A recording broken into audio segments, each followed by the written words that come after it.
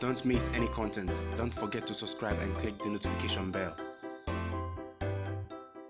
Welcome back to the channel. As usual, I am your host Selassie Fiawoyi. So today we're going to talk about uh, Kumasi Asante Kotoko and uh, Baby Jet Asamoah And a couple of days ago, I brought you a story about Baby Jet Asamoah being extremely angry at Kumasi Asante Kotoko fans bullying him. He even made an Instagram video on that, uh, saying that Kumasi Asante Kotoko fans, some of them and other Ghanaians, use his name when they travel outside and uh, they pretend now that they don't like him and all that and it's such a hypocritical attitude Asamoah Gyan went on and on. In my opinion, he did not need to react. Booing is part of the game. Even the best of players, Lionel Messi and co, get booed. But he, that's also he reacted. And a former Asante Kotoko management member has responded to him. Quite an interesting response that he gave Baby Jet Asamoah Gyan.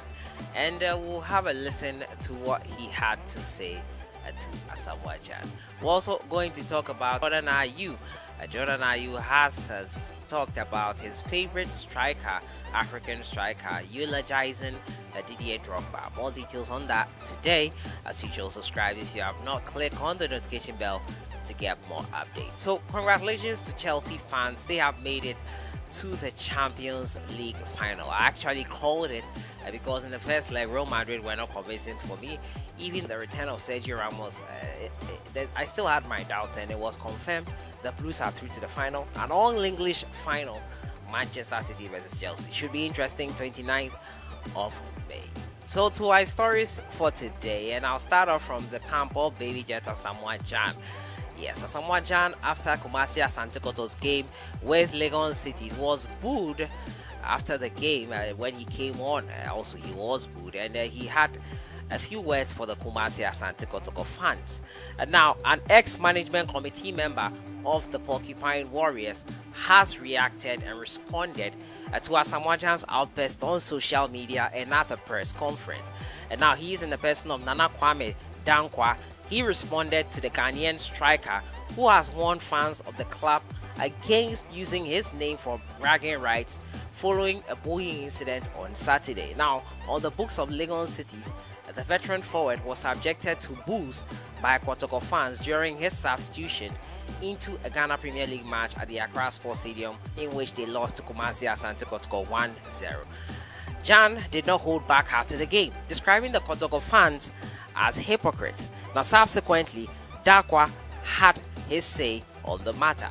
Who told him that we mention his name when we travel outside? Does his name guarantee visa acquisition? He said on Ghana Web. He's not the only player who has played for the Black Stars and has returned to play in the Ghana Premier League. Respect is reciprocal. These same supporters cheered him on when he was warming up.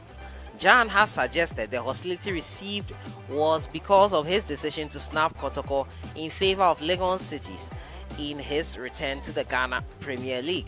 Going abroad for 17 years, the former Sunderland and Udinese striker made a return to Ghana, joining the Royals on a short-term deal.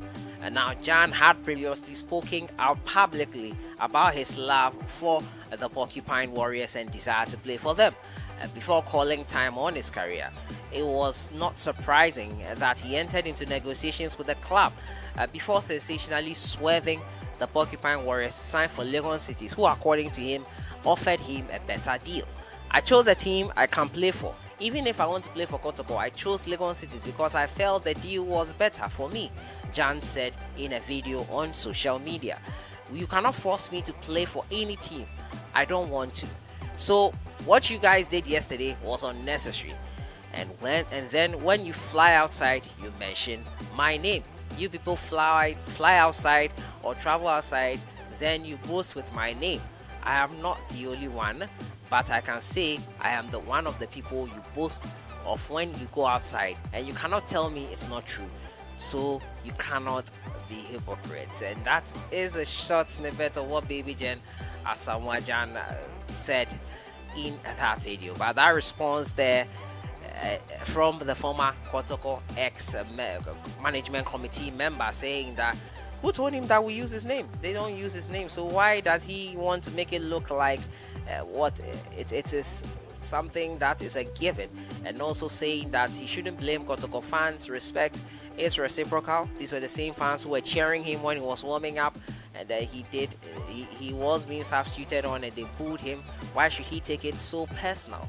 I was quite surprised. He even went online on Instagram to do a video on that. You would think someone like Asamoah Gyan would know better, but he's an he's a human being in the end, has emotions, reacted, and uh, that is what happened there on the front of Baby Jetta Asamoah Gyan. The response has come through, and one other member was saying that don't blame Kotoko fans for your poor form. He is yet to score for uh, the players at his team Legon Cities who are languishing in relegation. And I think that is what he should be focusing on and not on fans booing or fans will be fans, they will do what they want. Don't focus on them, baby jets. Don't focus on them so much. Let me know your thoughts in the comments box on this latest update there.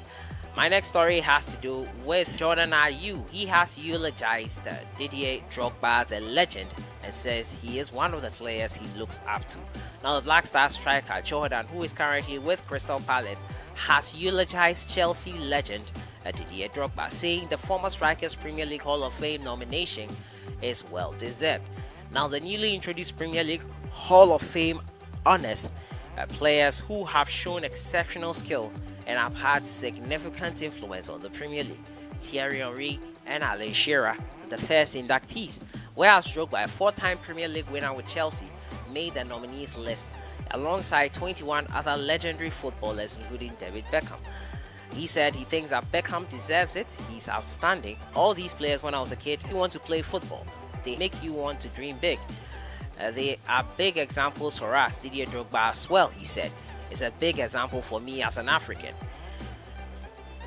Along with two inaugural inductees, uh, there will be a fan vote to determine the full class of 2021. The top six will be inducted into the Premier League Hall of Fame. Jordan Ayew there eulogizing uh, Didier Drogba, saying that he's one of the players he really does look up to and uh, he deserves to be in the Hall of Fame. Uh, that is quite a new introduction by the Premier League let me know your thoughts in the comments box on this one. Didier Drogba, should he be in the Hall of Fame, the newly created Hall of Fame, along with Thierry Henry and also with Alan Shearer? So that has been it for today. A response for Baby Jetta Asamoah Gyan. We do not use your name when we go outside. Your name does not guarantee us visits, is what one of the management, former management committee members of the Porcupine Warriors is saying to Asamoah Gyan. It's quite interesting. Baby Jet, in my opinion, did not need to respond, but he did. Also, uh, Jordan Ayew eulogizing uh, Didier Drogba, saying he deserves to be in the Hall of Fame, newly introduced. I'll see you guys in the next one. Have a great day. Enjoy the rest of the week.